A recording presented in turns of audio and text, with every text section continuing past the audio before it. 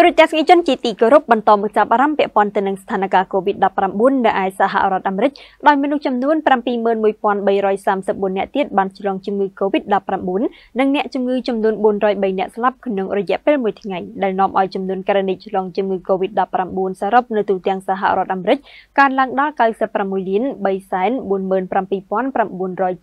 347,971ករណីហើយ។ នៅក្នុងរយៈពេល24ម៉ោងកន្លងទៅនេះមនុស្សចំនួន71334នាក់ទៀតបានឆ្លងជំងឺ Covid-19 ខណៈអ្នកជំងឺចំនួន403នាក់បានស្លាប់នៅក្នុងរយៈពេលដូចគ្នានៅទូទាំងសហរដ្ឋអាមេរិកនេះបើតាមការដកស្រង់ទិន្នន័យចេញពីគេហទំព័រ Worldometer នៅថ្ងៃប្រហ័សទី1ខែកញ្ញាឆ្នាំ2022 ក្រោយការបុកសរុបទិន្នន័យបន្ថែមខាងលើនេះនាំឲ្យចំនួនករណីឆ្លងជំងឺ Covid-19 សរុបនៅទូទាំងសហរដ្ឋអាមេរិកកើនឡើងដល់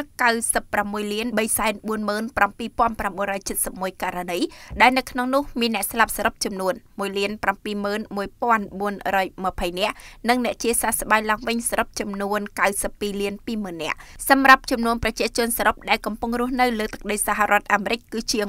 332លាននាក់